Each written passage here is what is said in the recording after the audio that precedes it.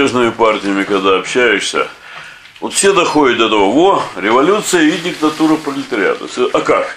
Ну как? Ну мы же это самое, к власти придем, поэтому вроде как мы диктатура пролетариата.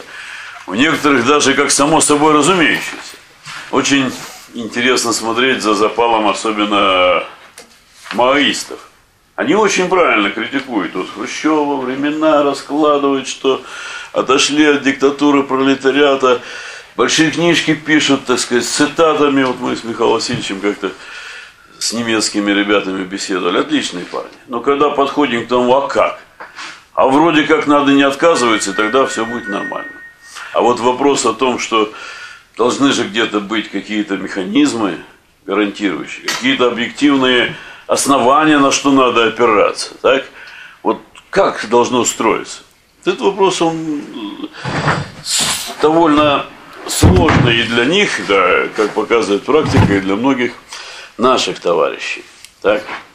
Тем более, что даже поверхностный такой взгляд, он показывает, что под советами даже у нас, те, которые при советской власти жили, целую историю прошел народ, так, многие понимают совершенно разное, и разброс э, мнений чрезвычайно велик, иногда он даже поражает. Для них советская власть это то, что было, значит, вот 50-е годы, в 70-е, кто когда родился, кто что помнит, то, что в кино видел. Есть другие, которые советская власть, это в основном название.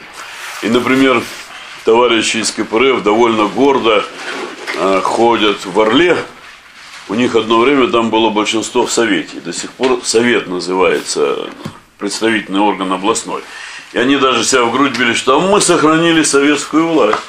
Вот, вот мы, это вы там, так сказать, потеряли. У да, совет да. есть у нас. Вот у них ученый совет. Так.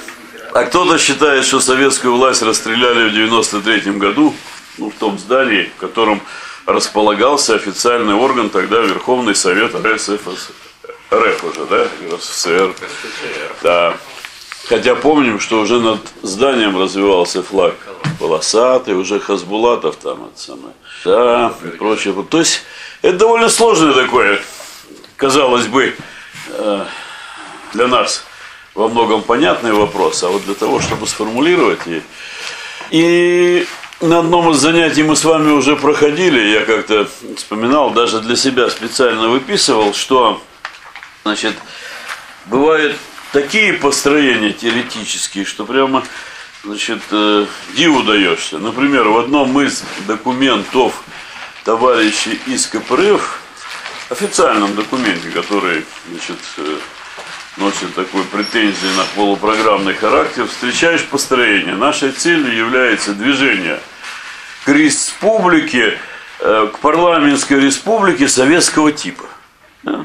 тоже, да, они, причем довольно чистосердечно пишут, ведь они не потому, что там, тут люди примерно в таком этом самом состоянии находятся. Или, значит, на научно-практической конференции в Иваново, на базе Ивановского университета, жаль, что Казенова у нас сегодня нету, значит, э, в 2005 году, то есть это посвященная конференция была столетию образования Первого Совета, выступают профессора, доктора, причем те, которые диссертации защитили на истории Совета, те, которые саму хронологию, сами детали, ну, замечательным образом знают, его можно слушать там и записывать, так сказать, и он огромную пользу может принести.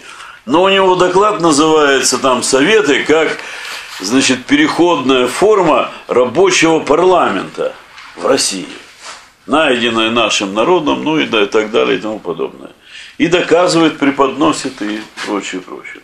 То есть, значит, пока мы отметим, что разброс мнений чрезвычайно велик, и наша с вами сейчас задача это, значит, э, постараться посмотреть ту теорию, которая есть, в первую очередь, конечно, Владимира Ильича Ленина, вспомнить практику, значит, как все это было, и, обменявшись мнениями, выработать собственную позицию, может быть, с чем-то поспорить и чего-то, так сказать, посмотреть. Так, значит, все мы знаем, что Владимир Ильич высказывал мысль, что Советы – это не выдумка большевиков. Никто, так сказать, из теоретиков не сел с карандашом, сначала нарисовал, а потом там на практике воплощали в Ивана Вознесенске, а позже в революции там 17 -го года или чего-то. И Владимир Ильич подчеркивал, что это та форма, которую сам российский, русский пролетариат нашел в процессе собственной борьбы. Борьбы стачечной, борьбы, так сказать, экономической, которая приобретала все больше элементов политической борьбы.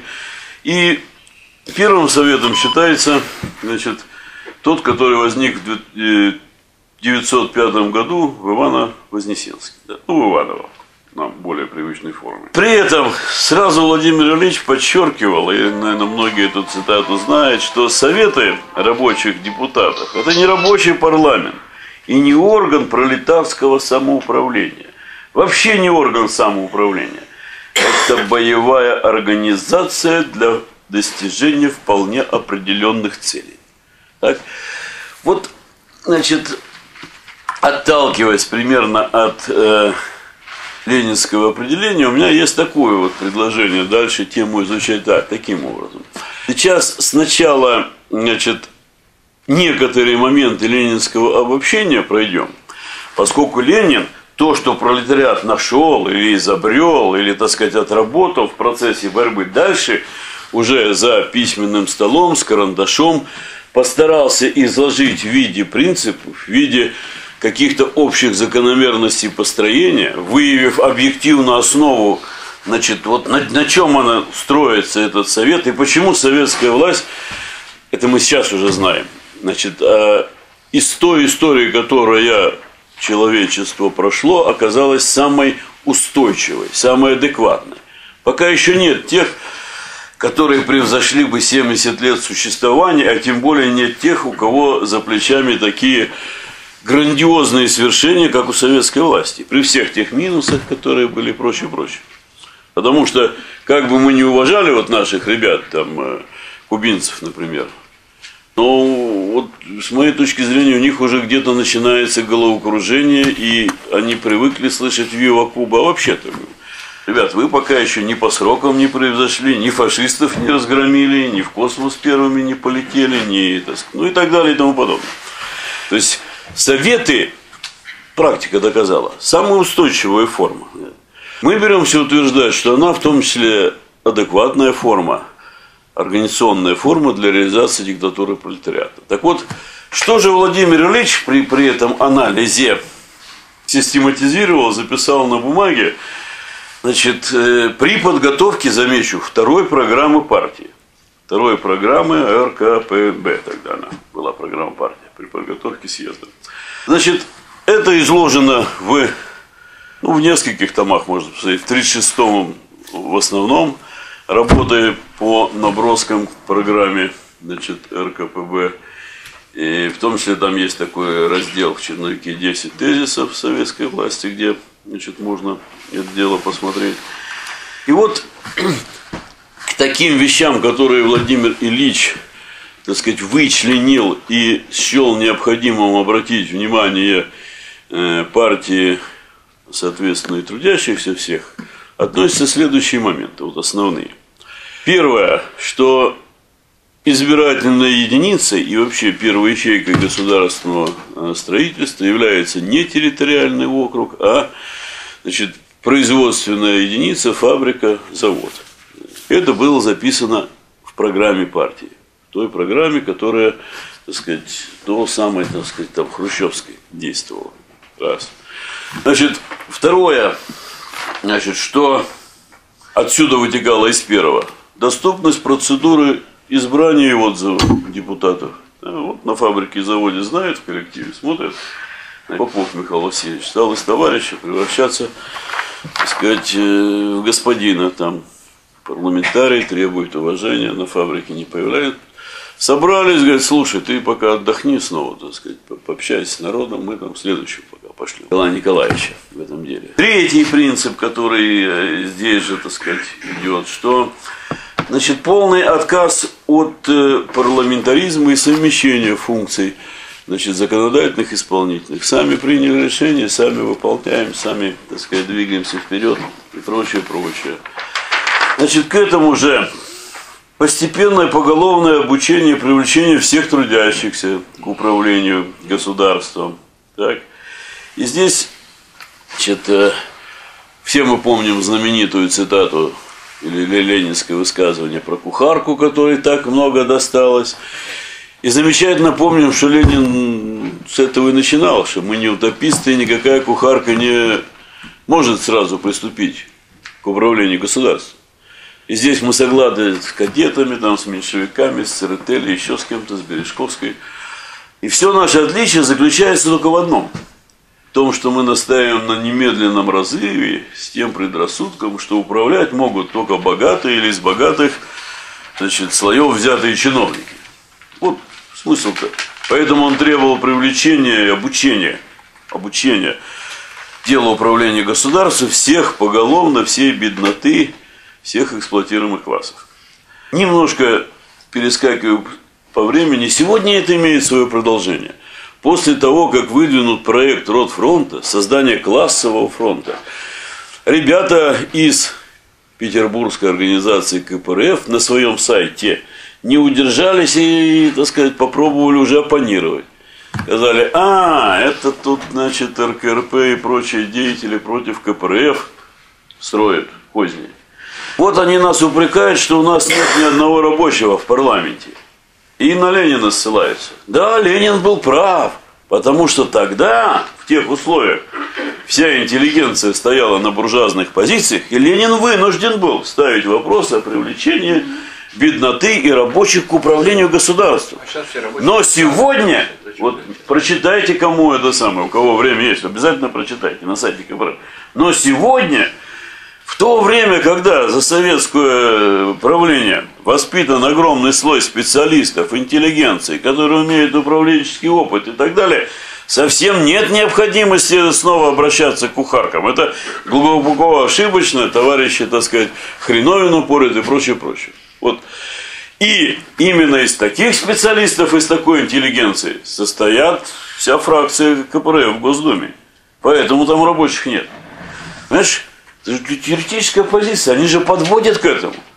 Ну, мы им там ответили, правда, что, ребят, в общем-то, вы, если простым языком переводить, ставите крест на словах гимна. Там никто не даст нам избавления и прочее, прочее. Потому что речь-то идет не о том, что мы хотим побольше там токарей-пекарей в Думу протащить, а о том, что привлекать людей к участию в политической борьбе, самих, сами широкие массы в этом деле.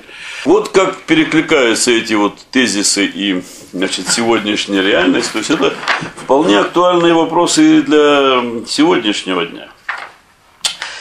Значит, э, целый ряд тезисов еще, значит, э, прошу посмотреть, и кого это глубже интересует, вот отправляю к работе Владимира Ильича. А сейчас я предлагаю нам, значит, перекинуть мостик в 1905 год – посмотреть, как развивались события там, при организации вот, э, стачки, при организации Первого Совета.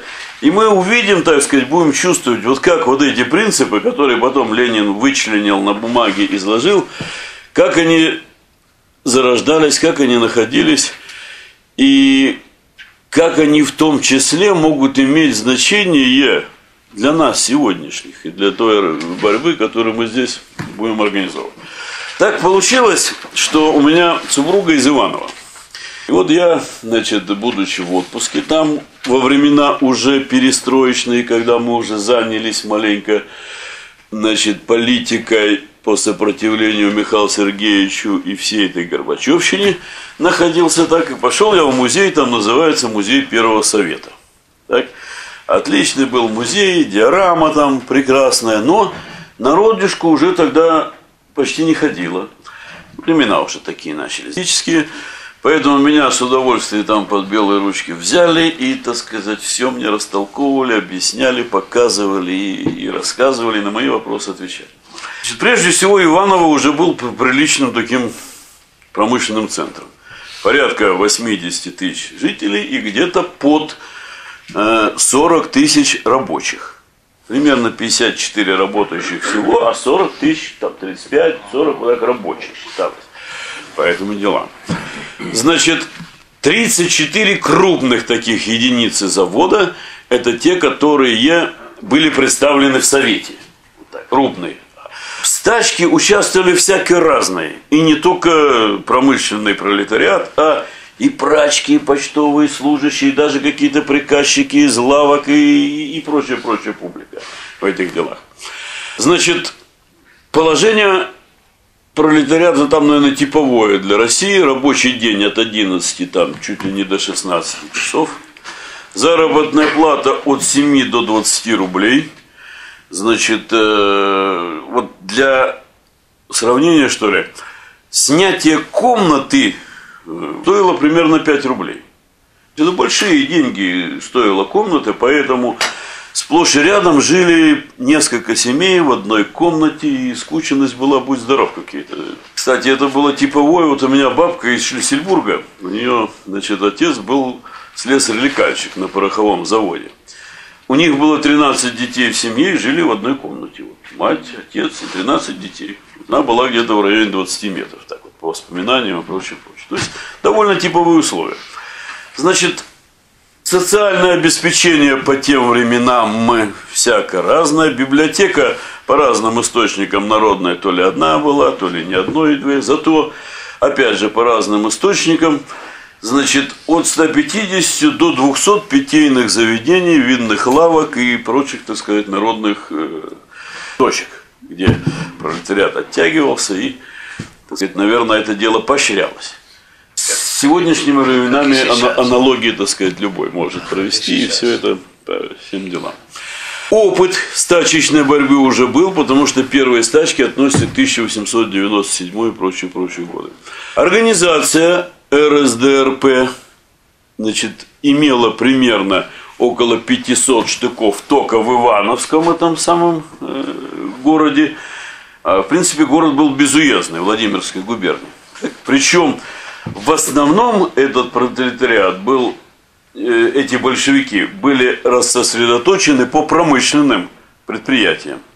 Значит, интеллигенции было среди них мало, и даже э, Фрунзе вот в своих воспоминаниях отмечал, что в Иваново я столкнулся с новым явлением. Конечно, рабочие были и в Москве, и в Питере, и так далее, но здесь, как ни странно, вот особенность была то, что сплошь и рядом, проходите вот на первый ряд, товарищ профессор, да, сплошь и рядом они занимали руководящие должности. То есть, если где-то в столицах часто терялись ребята, значит, среди там умных голов и профессоров и прочее, то здесь, говорит, вот этого не было наоборот. Все это дело. Значит, это примерно вот эта фотография, как чего было. Значит, э, стачка началась, в общем-то, по призыву большевиков комитета, где-то там 12 мая. Значит, подробности, наверное, и хронология нас меньше интересует. Интересно вот что. И дальше, вот как я, значит, э, подходил к мысли, как образовался совет.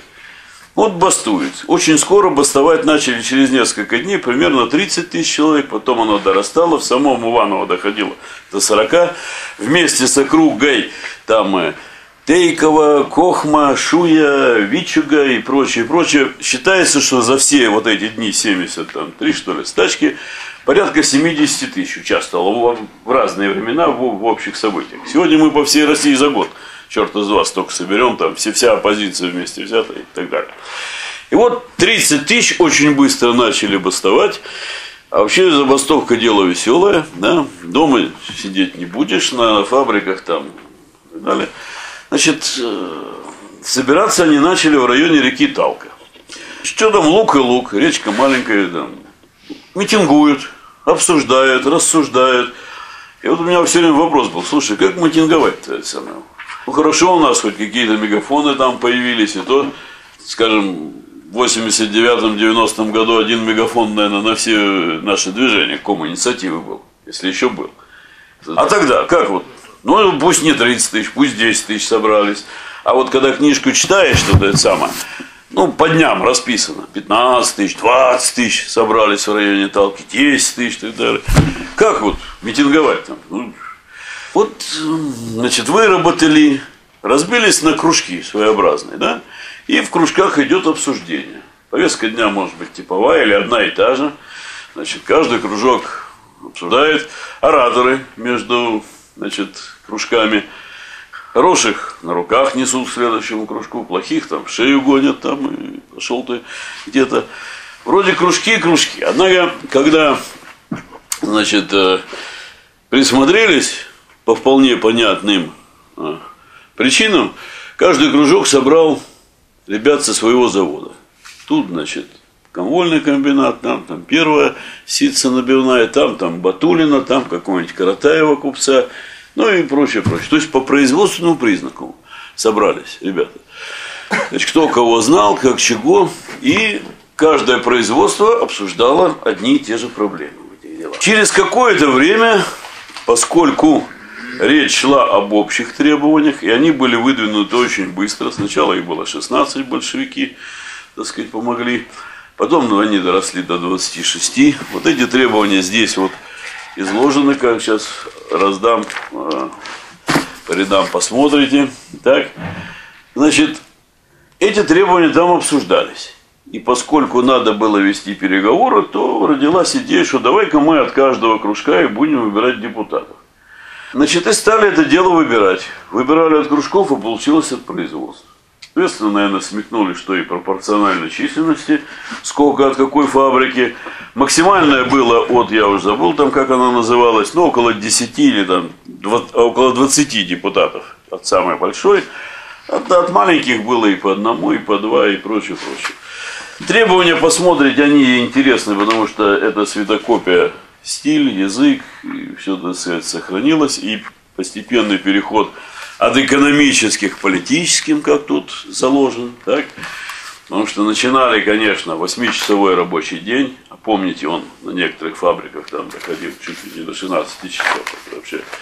Так, и декретные, и отмена сверхурочных, и выходных, и ночных, и отмена полиции и фабричных тюрем, то есть каталажек, так, и декретные отпуска, и кормление детей, и детские ясли, и так далее и тому подобное, и в том числе в конце переходило, значит, э, неприменение полицейских мер, а то мы за себя не ручаемся, и свободно собраний, митингов, демонстраций слова, печати, и свободно стачечной профсоюзной деятельности – все ближе к политике, а затем, значит, требование учредительного собрания. На бумаге здесь этого нет, но после того, как была кровавая расправа, ну, к которой мы подойдем 3 июня, насколько я помню, и далось самодержавие тоже сюда приделать. С этой стороны посмотрите структуру совета, к которой мы тоже подойдем, и пару цитат Владимира Ильича, которые полезны по рядам пустите, пусть это само так идет и относится. А вы пустите буклет, только прошу вернуть назад, он довольно интересный. Это значит, из музея Первого Совета, я там уже который открывался при современности. Таким образом, вот был нащупан принцип организации значит, общего органа, который создавался для, в общем-то, переговоров – но, как мы увидим, очень скоро стал брать на себя вполне определенные властные полномочия. Просто жизнь заставила, не потому что они там... Да.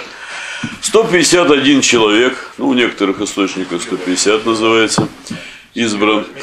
Значит, представляли рабочих, был один служащий только. Так сказать, один служащий, и то не во всех источниках это указано значит, э, в составе совета. Значит, чрезвычайно молодые ребята по составу, вот в большинстве источников называется средний возраст 25 лет.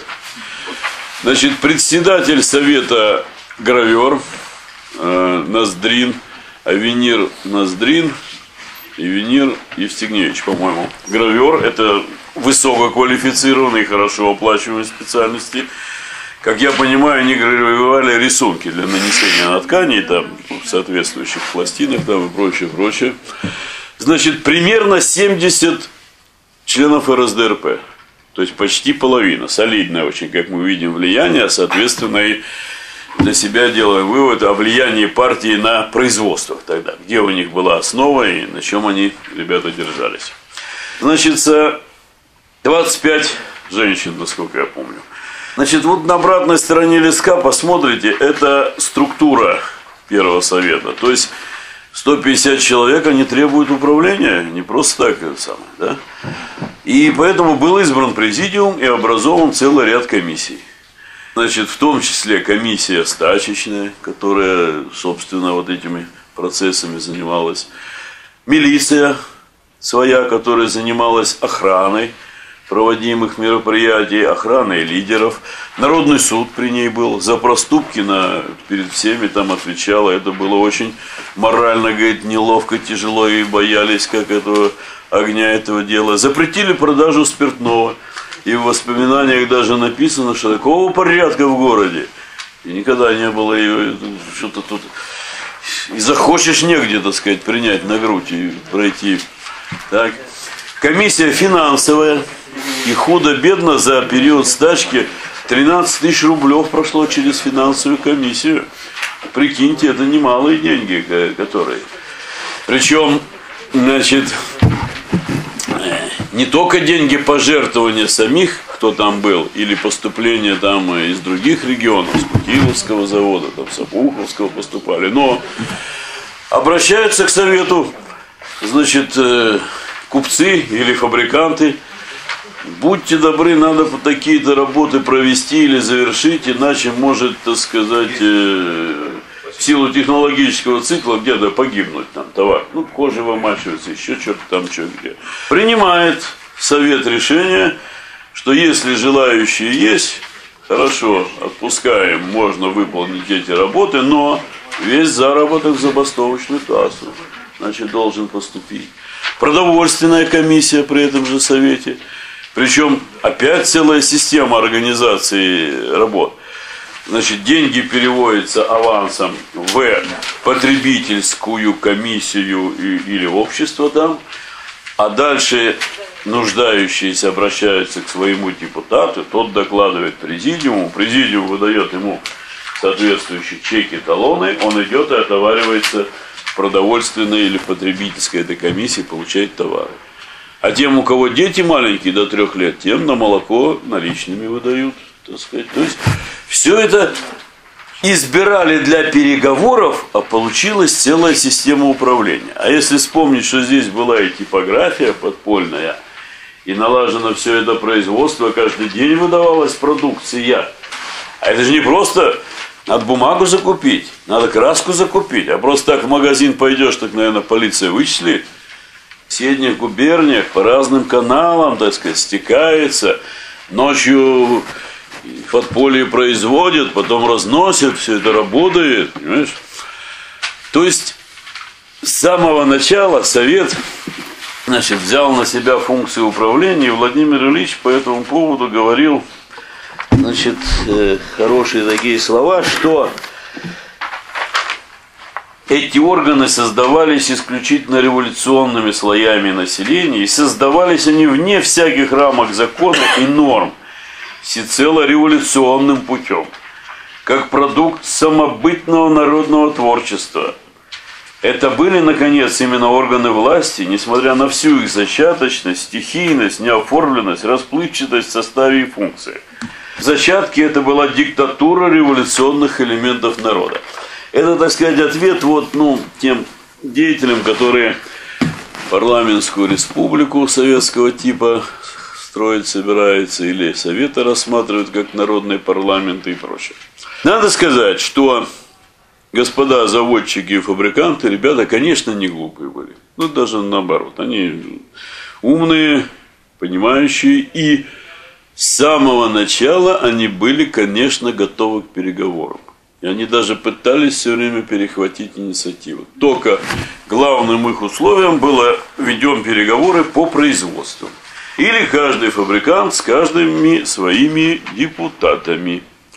А совет общий стоял, конечно, на позиции не все со всеми. Все это выражаясь современным языком, формула такая была, все со всеми. Потому что понимали, что как только раздробят, как только разведут по вот этим нескольким десяткам фабрик, кому-то что-то дадут, Кого-то подкупят, кого-то обманут, кого-то запугают, кого-то... Ну и пошло-поехало. Вот это чрезвычайно важный момент. И если будешь читать историю, вот художественные книги или, так сказать, эм, статьи по этому поводу, воспоминания, особенно переписка, причем переписка с двух сторон, как переписка вот фабрикантов и губернатора, Леонтьев там был губернатором, так и переписка, значит, э, революционеров. Это главный момент, который красной нитью проходил вот через всю эту стачку, через все эти события. Удастся удержаться всем вместе, воедино, или сумеют раздробить, и тогда, значит, пошли-поехали там, этим делам. Значит, события развивались чрезвычайно, так сказать, интересно. Значит, э, когда читаешь переписку, то, значит, э, то просто благодарен даже тем же фабрикантам, которые весьма художественно, так сказать, описывали ту ситуацию, которая там есть, э, которая там сложилась, так сказать. Э, ну вот, например, тот момент, который я вам говорил, да, значит, это пишет, это пишет, это пишет наш товарищ, вот что. Значит, э, сразу появились ведь, и, э, как бы сказать, полупровокаторы, естественные или засланные, это не столь важно. Например, так называемые анархистующие элементы, значит, выдвинули лозунг «бей, режь, грабь» и пошло-поехало то есть призывая к погромам как отдельных фабрик, усадеб, лавочек, прочее, прочее. И вот эта народная дружина, и в том числе президиум, ну, большевики этому делу противостояли. Вот послушайте просто сам язык и саму ну, глубину понимания вопроса тогда. На что отвечали большевики? Конечно, легче напасть на отдельного мелкого лавочника, ограбить частную квартиру, чем вести организованную классовую борьбу со всем классом капиталистов и помещиков. Конечно, легче напасть на отдельного агента царской власти, чем напасть на царское самодержавие в целом и организовать массы для свержения царизма. Вот идет разъяснительная работа при этом. Оно и сегодня для многих актуально. Вот в Греции, если кто следит за событиями, сплошь и рядом анархистующие элементы поднимают, и телевизор сплошь крутит. О, горят, смотри, машины. О, сосна там горит. Магазины, витрины бьют, погромы. Так. И повод-то благородный, там пацана застрелили два года назад. И с этого начиналось. Одновременно проводят свои акции коммунисты. Только призывает не бить, не громить, а проявить организованность и другими действиями. И более многочисленные, более организованные, во несколько раз больше. Но вся телевизионная публика, публика только крутит вот этот погромы, побои, испуг. А после этого принимают законы об ужесточении борьбы с экстремизмом, увеличении ассигнований на содержание полиции там, и забитый обыватель при этом это самое. А нового особенно ничего нет. Вот уже проходили наши, так сказать, с вами предки и те самые далекие-далекие времена. Но при этом губернатор пишет, что никогда в городе не было такого порядка отсутствия пьяных и, так сказать, как сейчас здесь есть. И этот порядок гарантировал совет во всем. Значит, как я уже сказал, политические требования с ходом стачки все больше и больше появлялись в этих делах. Значит, э, и это тоже можно смотреть по письмам, по некоторому творчеству. Значит, после определенных событий, опять же на той же талке, там не только политические, так сказать, речи толкали, и частушки пели, и там хором. Одна из любимых песен называлась «Зимушка». На столбе висит корона Николай II Ворона. Председатель всех болванов Николай II Романов. От Алтая до Дуная нет глупее Николая. По России слух пошел, Николай с ума сошел. И хит, наверное, может не шедевр, конечно, но не показывает, что, в общем-то, почтение и... А ведь Николай это покруче, чем сегодняшний национальный лидер. Это наместник Бога, так сказать, тут это самое в той России, где там, наверное, в те времена, ну, 70 или 80 процентов верующих было, действительно воспитаны, а не как сегодня где-то чего. Значит, события развивались таким образом, что очень сильно сомневались заводчики и фабриканты, значит, и многие наиболее умные писали, что надо идти на уступки, надо идти на уступки, иначе, значит, дело пахнет керосином. Как они писали, руководят умело, смело, хлестко. Наверное, в основном приезжие из столиц тут, понаехали всякие в общем-то. Все покинули фабрику, я вынужден сам себе кипятить чай, там пишет э, один из главных самых, и сам сторожить, последний сторож ушел, что делается непонятно. Между нашими нет согласия, между своими он пишет. Его надо как можно быстрее достигать, иначе огромные убытки терпим. А тут надвигается Нижегородская ярмарка, синокос – а синокос это в пользу рабочих, потому что многие связи с деревней, значит, держат тут. Может работать, полезное с приятным и прочее, прочее. Значит, была предпринята акция по разгрому лагеря Наталки 3 июня, насколько я помню. Значит, казаки астраханские, значит, с кровопролитием, спровоцировав инцидентом какие-то выстрелы со стороны якобы лагеря рабочих, Значит, дальше довольно кровавая расправа. Дальше пошли уличные бои, баррикадные бои, в том числе уже и значит, расправы с фабриками, поджоги усадеб и так далее и тому подобное. Хотя через 10 дней губернатор снова издает указ о разрешении стачи э, этого лагеря Наталки. Правда, с условием, если вы, ребята, не будете вести политических речей, антиправительственных. Но, как сами мы понимаем, что уже назад хода не было, значит, с точки зрения общего настроя. Люди менялись на глазах, и вообще вот по воспоминаниям, которые Самойлов пишет, и тут эти э, участники событий, что главный результат, который был вот по результатам стачки, что стали другими люди – что у них уже пропала вот эта забитость. Если раньше шел приказчик по фабрике, там он царь и бог, и перед ним, так сказать, шапку снимали и кланялись несколько раз, а тот даже голову не поворачивался, то, говорит, вот эта привычка исчезла. Вот перестали, так сказать, тем другие люди вышли из этого дела. Так вот, значит, вынужден был президиум совета Значит, после того, как были приняты решения о значит, э, частичных уступках, они такие ступенчатые были, значит, на 10, на 15 процентов повысить зарплату, сократить рабочий день до 10 часов, соглашались э, купцы. Правда, напрочь отметали целый ряд требований, которые говорили, что он должен решаться в общегосударственном масштабе. Так? Отказывались рассматривать требования от ликвидации полиции и каталажек на фабриках. Вынужден был Совет принимать решение, что э, силы истощены, мы вынуждены выходить на работу, но не потому, что мы сломлены, а для того, чтобы подкрепить силы и продолжить эту борьбу, так сказать, по новой. Значит, продержалась, считается, вот эта Ивано-Вознесенская стачка 73 дня, вот считай, Парижская коммуна, да? Больше.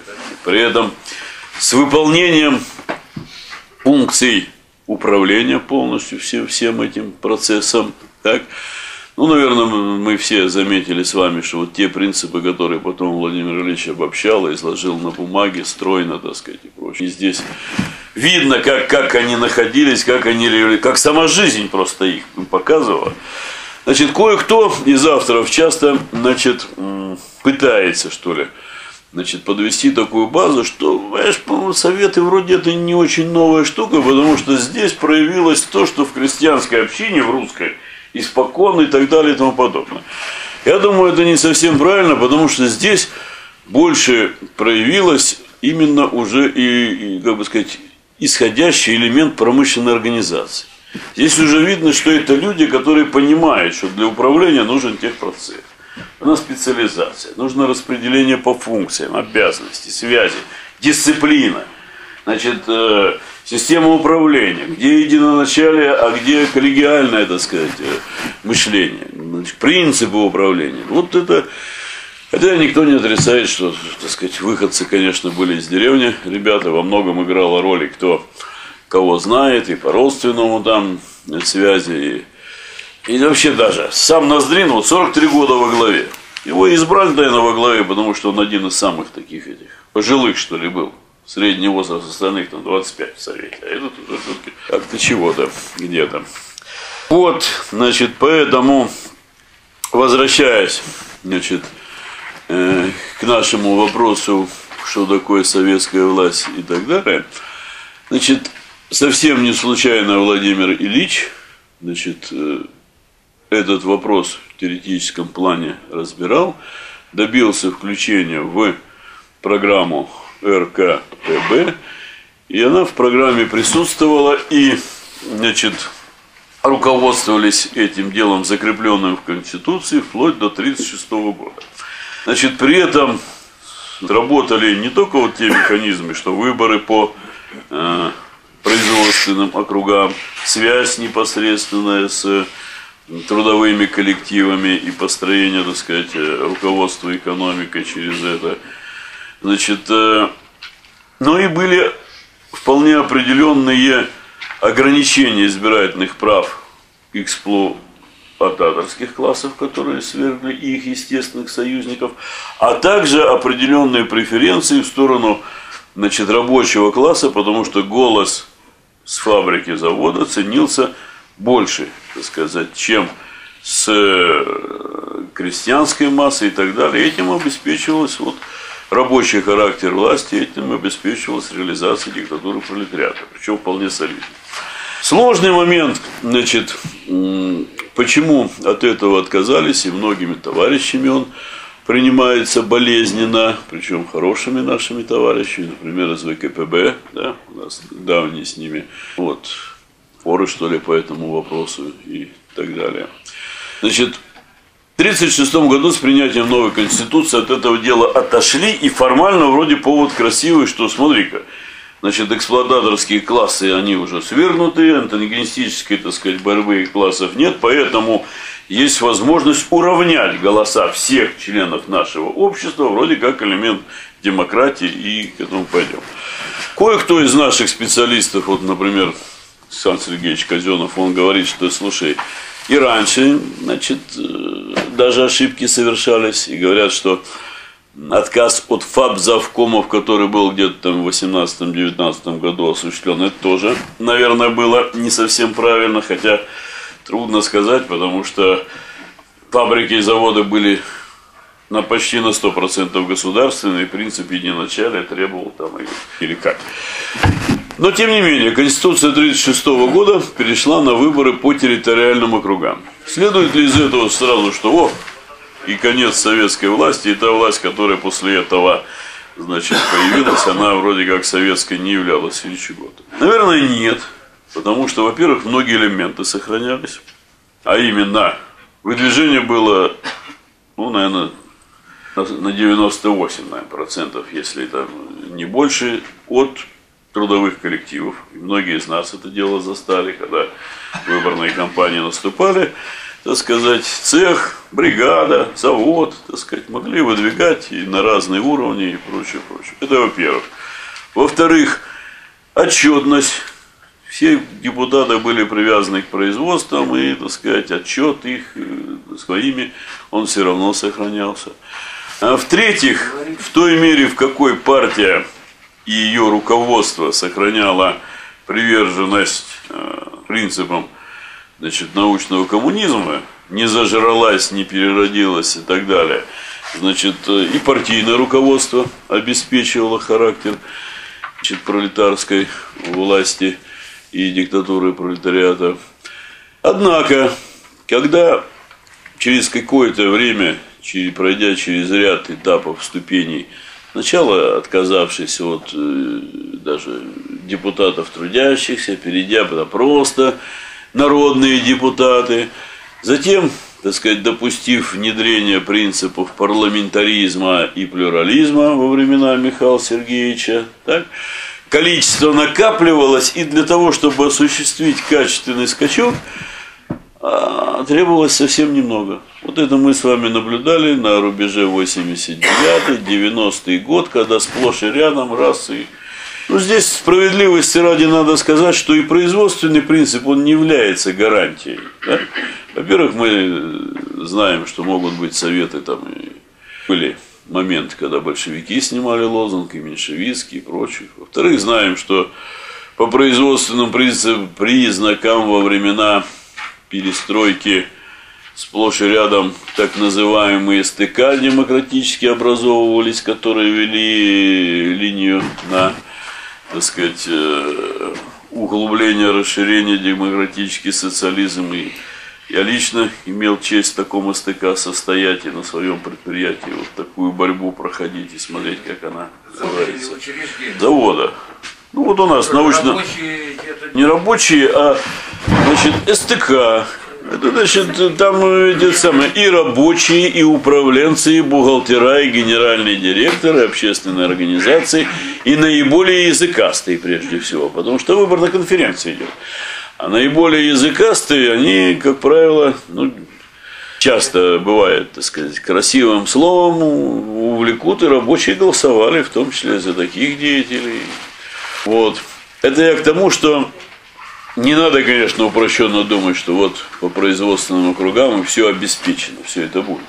Для того, чтобы в том же Иваново-Вознесенске было обеспечено, мы с вами вспомнили и опыт борьбы, и организация большевиков с укоренившимися связями непосредственно на производство.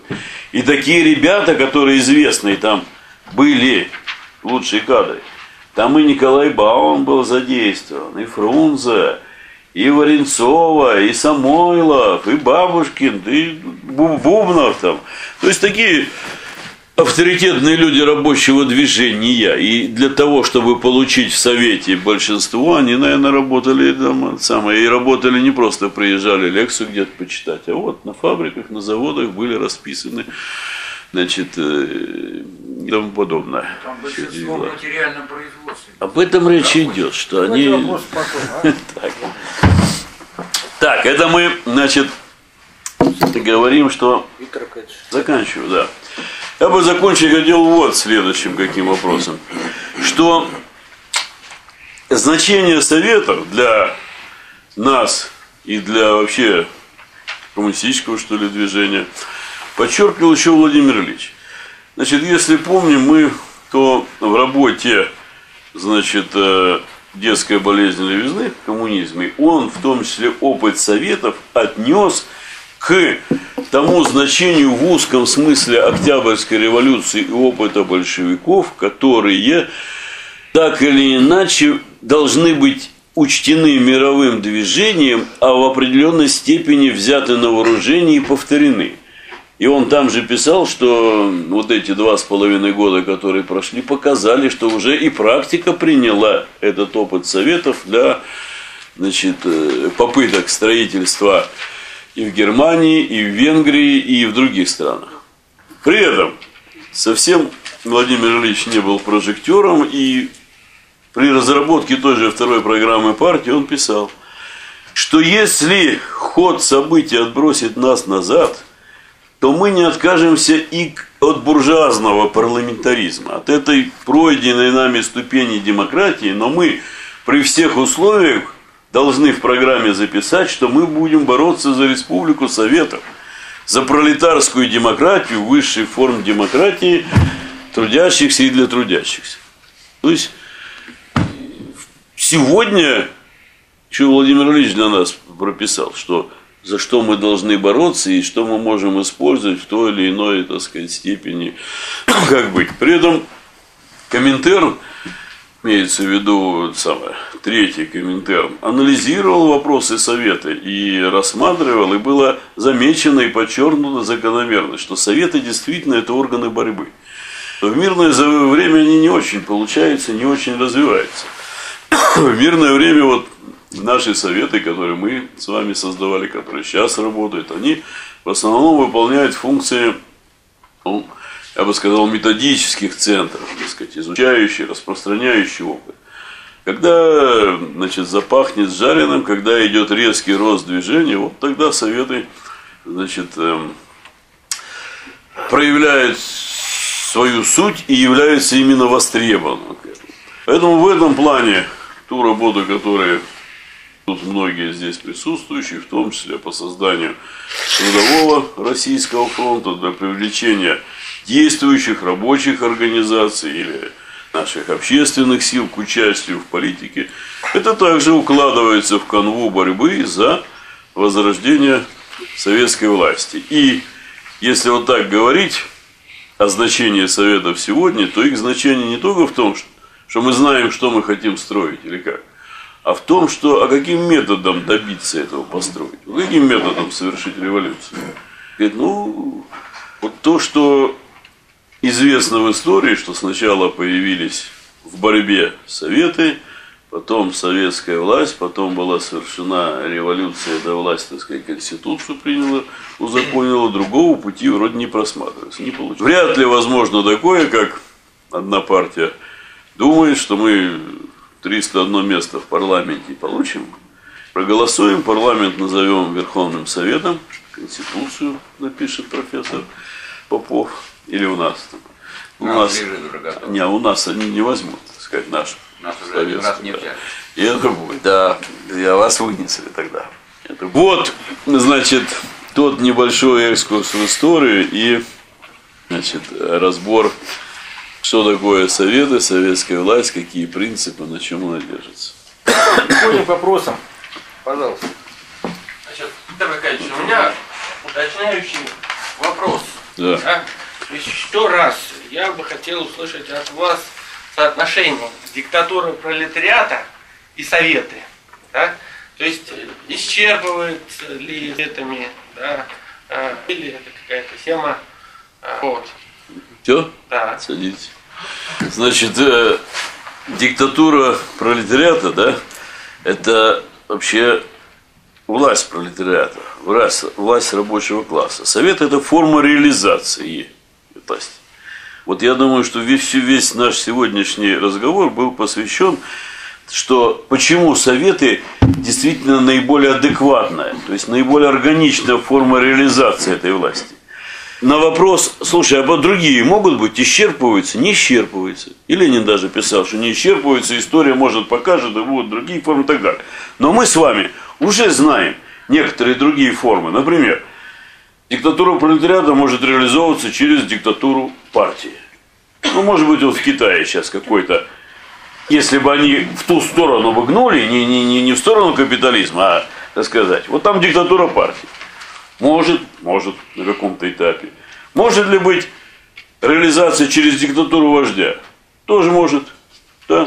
Ну, Многие считают, что в какой-то степени у нас это было во времена батьки Сталина. Вот он был действительно марксист и действительно, так сказать, преданный на правильных позициях и прочее, прочее. Может быть, через диктатуру вождя, может быть, там через какого-то прогрессивного лидера, еще чего-то. Но все эти модели имеют один недостаток. Получается, пока вождь хороший, честный, умный, преданный, все вроде замечательно.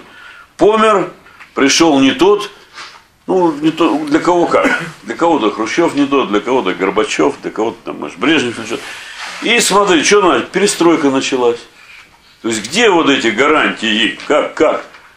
Наверное, то, что мы сейчас с вами озвучили, или я озвучил, а кто-то согласился, кто-то нет, наверное, это тоже не исчерпывающие гарантии. Но это один из моментов, который пытался осмыслить Владимир Ильич и партия в целом, да, как построить эту власть, чтобы она была действительно выразителем диктатуры пролетариата, трудового народа, осуществляла эти функции, с одной стороны подавления, с другой стороны строительства нового общества, и подчеркнуто у Владимира Ильича, да и у Маркса, по-моему, что это, ребят, не только на, вот сразу после революции, это на целый переходный исторический период до построения бесклассового общества. Вот эта диктатура устанавливается. Значит, она должна как-то строиться. И, и, и, наверное, она не раз и навсегда, она в процессе строительства социализма какие-то дополнения, изменения, совершенствования, элементы там э, приобретает и прочее, прочее. Вот и готовых рецептов, наверное, нету. И сегодня, например, мы будем строить Это тоже не один к одному то, что было. Уже и другая структура производства, и другие структуры производительных сил, и люди другие, и опыт другой. И кое-чего сегодня, так сказать, в определенной степени тяжелее провести, чем раньше или что-то. Поэтому советы – это все-таки форма реализации диктатуры пролетариата. Еще вопрос? Не, не, следующий вопрос. Это вы на выступление запишитесь. Пожалуйста. Маленький вопрос. То есть у меня есть предположение. Нет, это имеется в виду зима-лето. Летом расценки больше были, а зимой делать деревни нехрена, и рабочая сила дешевеет. И их держали там вообще за бесценок зимой. И вот они, да, да, да, да. И они требовали и расценки, чтобы были одинаковые, и чтобы срок найма был годовым. Вот. Еще вопрос. что э, выбор по, по программам это не панацея. Сейчас мы вот видим, что в рабочих профсоюзах, ну хотя это, конечно, не советы, но и тем не менее, там вот реализовано вот это вот. Возможность отзыва в время, возможность э, замены, возможность контроля. Ну вот разлагаются, тем не менее. Не- Что вот надломилось такое в русском России вот эти сто лет? Я думаю, во-первых, это самое, может быть, неправильно так употреблять надломилось, да, потому что если брать те рабочие профсоюзы, которые мы с вами, ну, знаем, дружим и так далее, то можно сказать, что по сравнению с ФНПРовцами они наоборот что-то набирают, растут, и это положительное прорастающее зерно.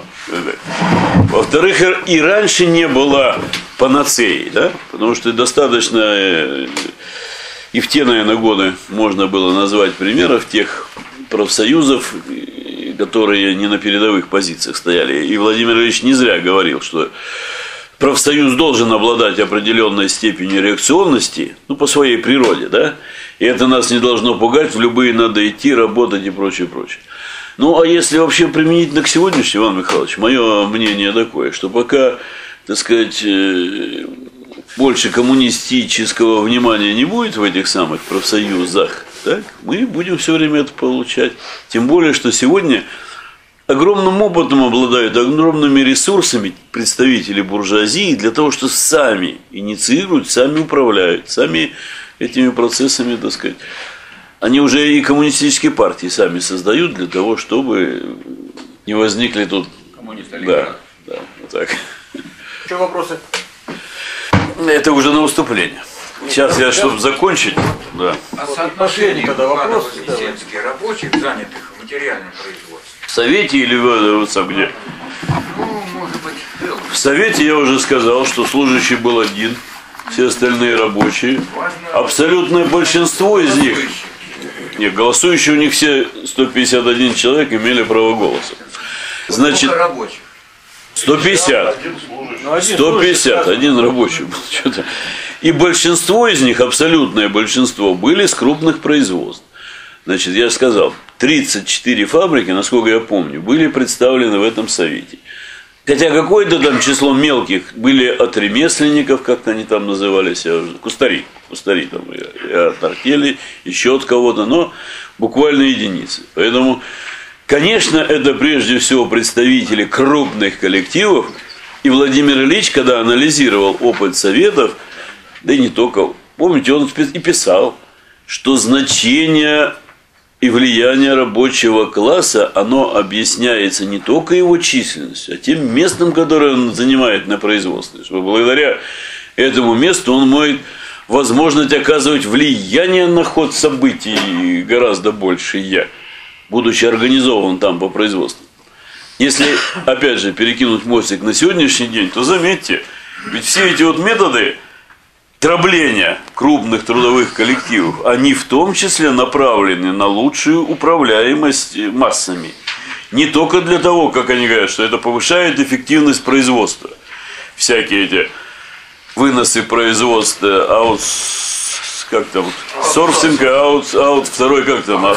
стаффинг, да. Промзоны. О, наемный труд, вроде стоят за станками тут же в твоем цеху, а членами коллектива не являются. И в борьбе вроде участвовать не могут, трудовому э, коллективному договору отношения не имеет. И, а где-то вахтами возят, а где-то, так сказать, еще чего-то. То есть это все эти элементы дробления. Значит, в заключение чего хотел сказать? Ну, кроме Владимира Ильича, это, конечно, надо читать. В библиотеке ЦК можно посмотреть замечательные книги «Всеобщая стачка Иванов Вознесенского», значит, автора Галкина. В журнале «Марксизм и современность» 2005 год, посвященный столетию Первого Совета, есть очень приличные статьи товарищей Казенова, товарища Тюлькина и товарища Шутова Геннадия. Это Ивановский такой есть профессор КПРФ, не кстати.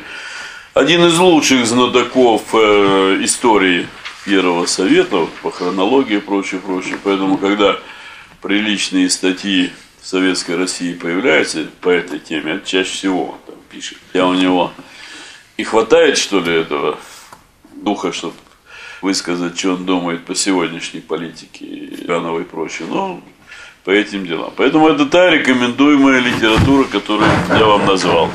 Значит, у меня большая просьба вернуть сюда буклет, он мне дорог как память, посвященный значит, столетию Первого Совета. Картинки там досмотрите и сюда по этим делам.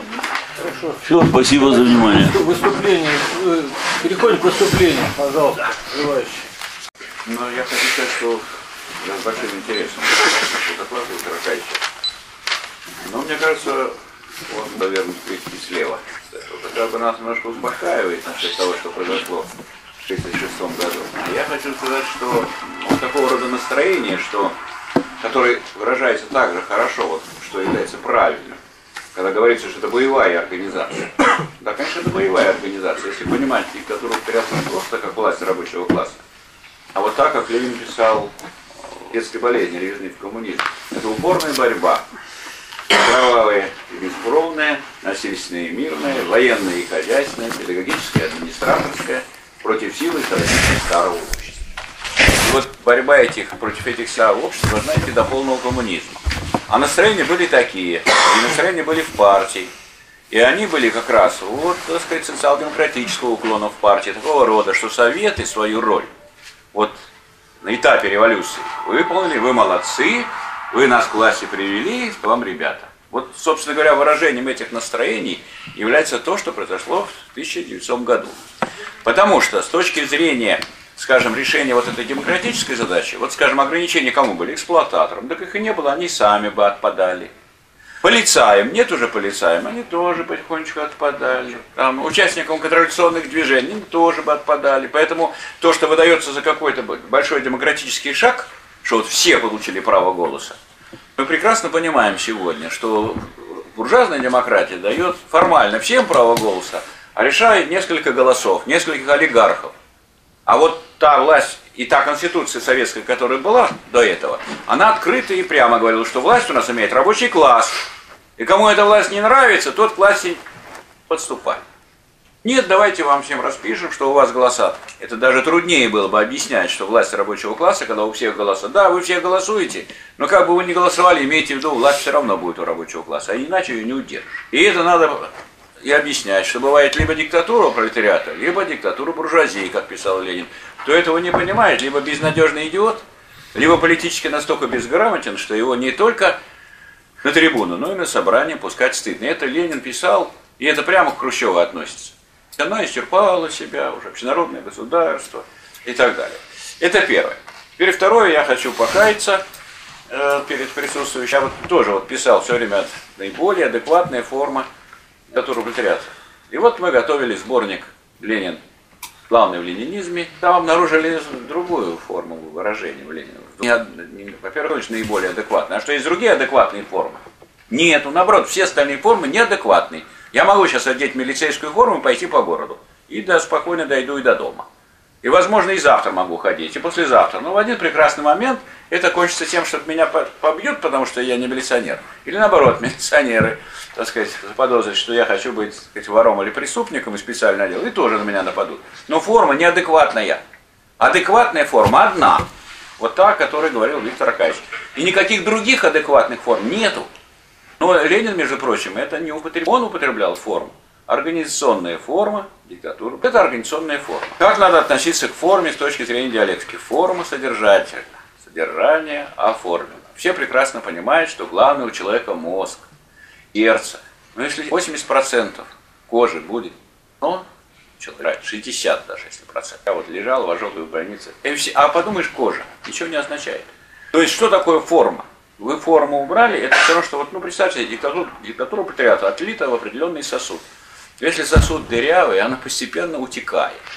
Конечно, это никакая вот эта форма не панацея, если вы этот сосуд никуда не несете, если вы никакой борьбы не ведете, если классовая борьба так сказать, затухла, потому что рабочий класс э, решил, что он уже всего добился, что он все завоевал, и начинает почивать на лаврах, никакие формы ему годятся. Но если вот сделана эта дыра, то диктатура пирата будет утекать. И она утекала. Значит, сначала, я думаю, что это большая разница.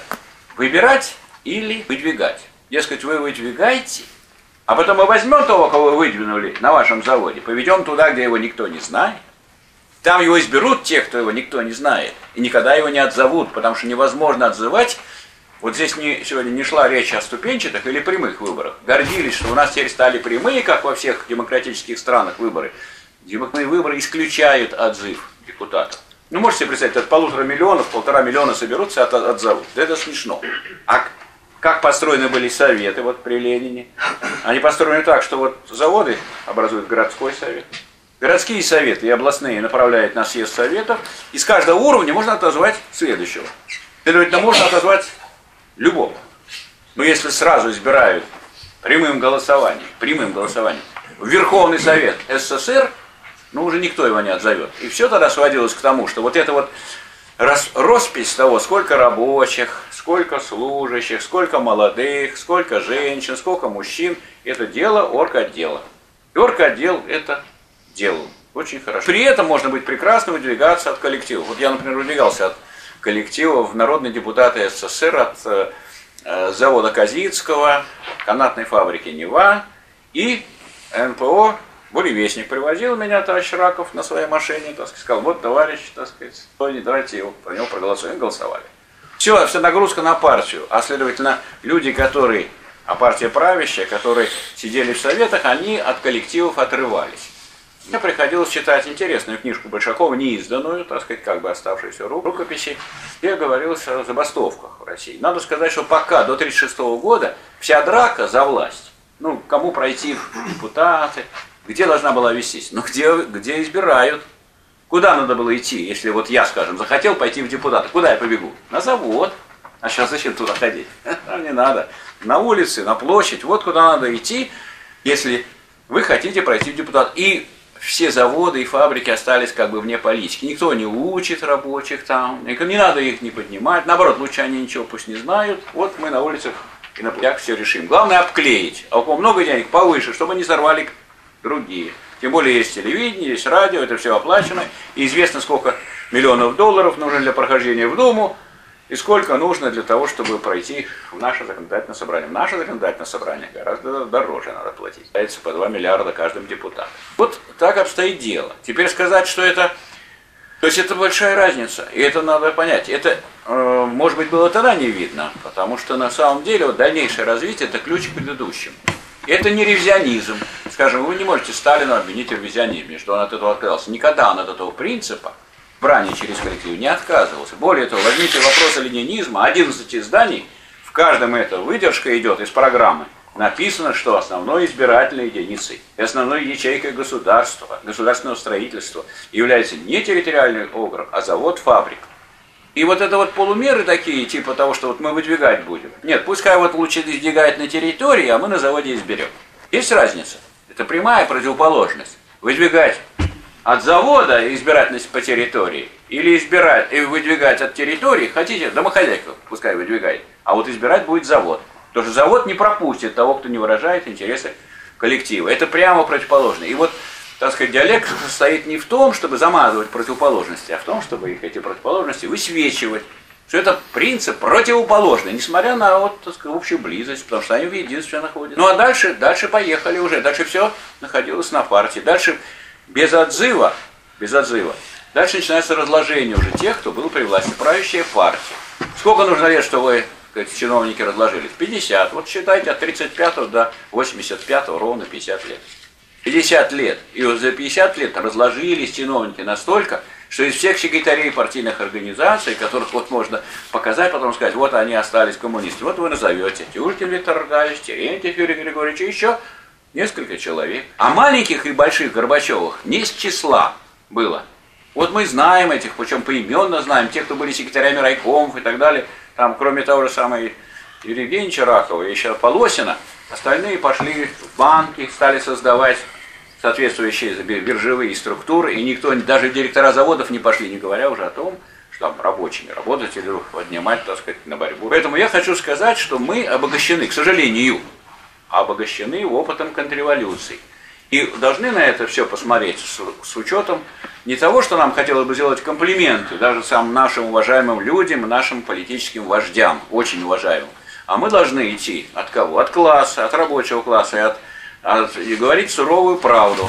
Я, например, хочу сказать, и хочу тоже покаяться и сказать, что я этого, несмотря на то, что я прочитал Ленина всего, я до этого, вот до того, о чем сейчас говорил Виктор не дошел. Пока, скажем, мой коллега, старший профессор Сергеев не, сказать, выступил, выступал и доказывал, что все-таки вот советы это когда по коллективу. Потом, значит, Ельмеев, Васильевич, там, Виктор Георгиевич Долгов. А они меня попросили, Миша, ты найди там у Ленина. Я как посмотрел, боже ты мой. А вот я вот прочитал, не заметил. Поэтому я очень не склонен, так сказать, ругать наших предшественников, вождей, так сказать, большевистской партии, что они такие, а они сякие. Потому что людей исторически оценивают не за то, чего они не сделали, а то, что они сделали. И вот, скажем, не члены КПРФ и не члены нашей партии, а члены партии «Единая Россия» раскопали положение о выборах, положение о выборах через коллективы, которые мы опубликовали в «Народной правде». Я вот сколько не уговаривал товарища Казенного, он никак-то никто не анализирует. Мы опубликовали, все берут, полистали и пошли. А ведь больше нигде нету никакого закрепления этого принципа. Ну, было одно сказано, что в деревнях от 125 тысяч, а в городах от 25 тысяч. А, а дальше как? Причем от 25 тысяч избирателей, а вот в деревнях жителей. То есть так по-разному говорилось. Но так это вот скомкан. Сам принцип, который в программе в ясной форме, нигде, ни в Конституции, ни в законе о выборах не закреплен. Только в положении, в инструкции. И эта инструкция, никто ее не знает. И я думаю, что, ну вот Еленина, юрист, юрист, и он этот принцип в программе записал. Ну вот всякие другие дела, видимо, это считалось не самым главным это оформить, а форма содержательна. Вот это тоже может быть и ошибка, что не оформили в свое время, не закрепили. Хотя, я думаю, абсолютно прав Виктор Аркадьевич, что, конечно, это не панацея. То есть, если кто-то скажет, что стоит нам сделать по этим коллективам, и по-прежнему рабочий класс будет спать и бояться, так сказать, встать на коммунистические позиции, а ведь коммунист означает только одно, общее, за общее дело бороться, а не только за свою зарплату, за свою шкуру, не только за свой завод. Будешь бороться за свой завод, потеряешь завод. Вот боролись за свои заводы, где заводы? Поэтому я думаю, что вопрос о коммунистической позиции – это позиция вообще выживания России на сегодняшний день. И этого сознания в рабочем классе на сегодняшний день нет, и никакие ему выборы не помогут. Я думаю, что вот э, таким образом надо достаточно критично посмотреть на то, что у нас происходило в нашей истории. Спасибо. Желающие, пожалуйста. Представьтесь, пожалуйста. Меня зовут Алексей Русаков, КП. Ну, во-первых, я... То, что ты перед народом выступай, не стесняйся, ничего найдут, да. Значит, э, тут вот э, уважаемый Михаил Васильевич сказал, что вот он долго-долго читал Ленина и прочитал там почти его всего. Не почти. И, ну, или всего вообще. Э, значит, и там не увидел, а кто-то подсказал. А, на самом деле у Ленина написано э, еще много чего такого и про диктатуру э, ряд, и про советскую власть, что в нынешнее время, э, ну вот сейчас, и уважаемым товарищем Поповым и товарищем Тюлькиным э, не говорится, я не говорю, что замалчивается. Нет, я значит, считаю их добросовестными людьми, которые, значит, но, тем не менее, Уже не грозит. тем не менее, Значит, вот э, э, приведу значит, пример конкретный. Упоминавшаяся работа э, детской, детская болезнь левизны в коммунизме. Да, там есть пункт шестой, последователи коммунистам работать в реакционных профсоюзах. Да. Значит, там э, описан механизм диктатуры, общий механизм пролетарской государственной власти, рассмотренный сверху с точки зрения практики осуществления диктатуры. Вы, если вы его внимательно прочитаете, то вы найдете э, скажем так, не так много общего с тем, что говорил сегодня уважаемый Виктор Аркадьевич. Да? Ну, хотя, э, значит, поскольку э, не сводится там диктатура власти, э, диктатура пролетариата к советской власти. Да, есть э, партия, есть партия. Более того, значит, э, вот э, программа была написана, э, писалась там в конце 18 года, потом она в начале 19 года была принята, но, значит, э, диктатура пролетариата осуществлялась еще при жизни Ленина. Ленин э, много чего еще про нее писал, да. Например, да, э, значит, переходе к социализму неизбежна диктатура пролетариата. Но поголовная организация промышленных рабочих является это диктатура. Готовьте дальше. Получается такая вещь, что партия, так сказать, вбирает в себя авангард пролетариата. И этот авангард осуществляет диктатуру пролетариата не имея такого фундамента, как профсоюза, ну и так далее. Значит, это к вопросу о том, что появились когда-то люди, потом, после Ленина, которые говорили о том, что вот Советы, мол, э, выполнили свою историческую роль, да, так может это не после Ленина, а при Ленине, и сам Ленин уже кое, кое значит, ну, не сводил так вот диктатуру пролетариата непосредственно к Советам, которые выпираются по производственному принципу. Дальше, там же диктатуру пролетариата через его поголовную организацию осуществить нельзя. Тоже многоточие, вырежу кусочек. Которую может осуществлять только тот авангард, который вобрал в себя революционную энергию класса. Таким образом, получается как бы ряд зубчатых колес, вот, и так далее. Значит, э, вот э, советы э, перечислены в качестве одного из зубчатых колес, которые приводит энергию революционного авангарда ко всему классу. И если его изъять, то что будет? Нет, естественно, естественно. Дальше, дальше Всего смотрим, смотрим, значит, пр- проходит время, значит, 36 год. У нас про- про- про- происходят качественные изменения в жизни общества, да, в том числе, значит, меняется классовая структура общества, эксплуататорские классы непосредственно исчезают, да, значит, э, казалось бы, э, казалось бы, логично предположить, что ну, что-то должно меняться. В том числе, может быть, и с точки зрения формы, э, той же самой детской болезни левизны, э, излишнее цепляние старым формам Ленин относит э, к чертам правого доктринерства. Да, да, там же, там же.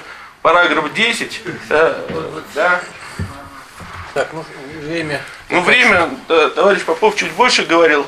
Я, Я думаю, надо разрешить только какой-нибудь вывод, так сказать. Значит, свои нет, а, вы- а- а- а вывод, да. а, вы, а, вывод, а вывод-то какой? Значит, э, к чему я подвожу? Да, вот, значит, про, прошел, значит, 30, 36 год.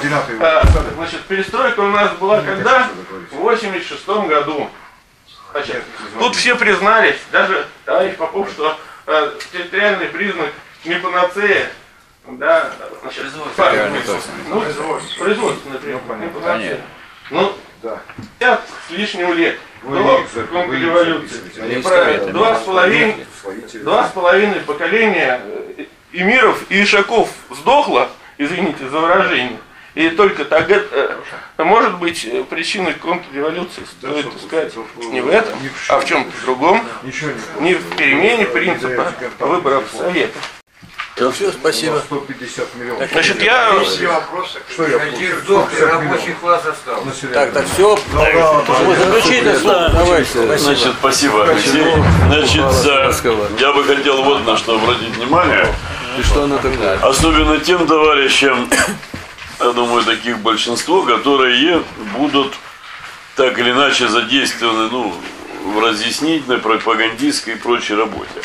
Вот чтобы не вдаваться в шибко сложные вопросы теории, да, и истории, вот по которым сейчас прошел Алексей в том числе, а по-простому объяснить, вот в чем сущность советской власти, да, то, я думаю, надо излагать примерно так. Вот единственное преимущество людей труда, которое у них есть, оно природой производственного процесса заложено, это их организованность в процессе труда.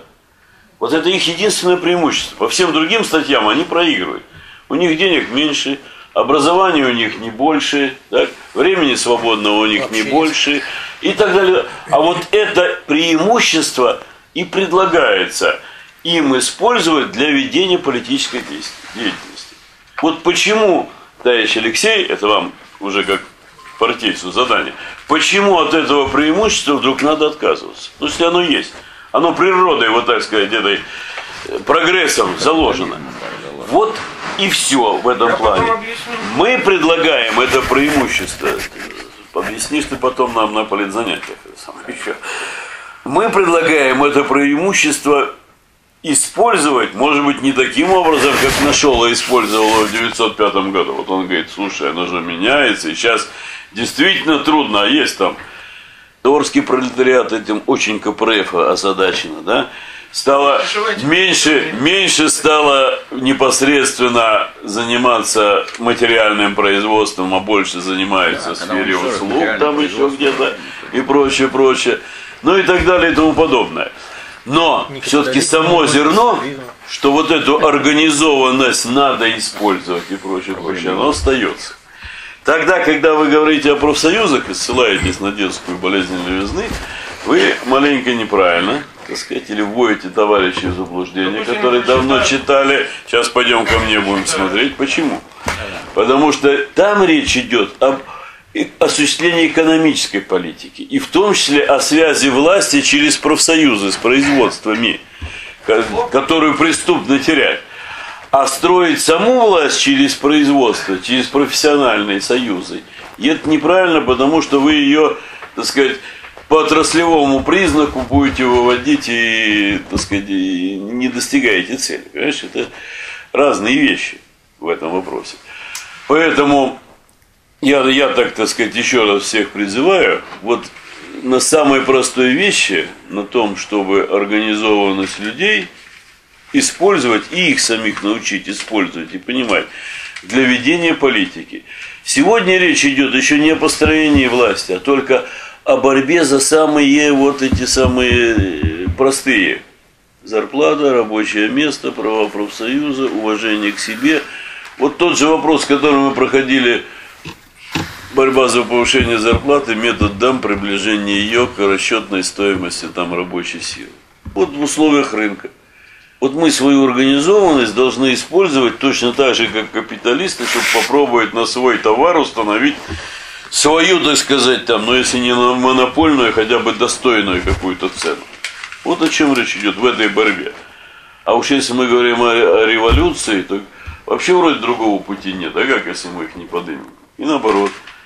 Если бы все сантехники Питера вместе бы, так сказать, были объединены, собрались, так мы бы перекрыли бы задвижки, и в дерьме бы, так сказать, и смольные. там. Не сочтите за экстремизм. А снегом засыпется. Спасибо, Виктор Аркадьевич. Занятие пошло. Хорошо, удачи. Спасибо. Значит, Следующий четверг плановое занятие. товарищ ректор обращает внимание, что план занятий в газете за права за рабочее дело на четвертой полосе изложен, Да. поэтому Пожалуйста, вот рекомендую взять и пользоваться. Все, всем спасибо. Первые советы вообще-то были в 1871 году. Не-не-не-не. Но они носили Слушай, они это я, нет, вот я не это самое. За первые советы рьяно А это спорят ребята из Алапаевска, из Свердловской области. У них упоминается А. Но с точки зрения того, что именно власть над регионом и вот с этими управленческими функциями, а не просто название. Это, конечно, надо за Ивановцами признавать. Это интересная история там и прочее.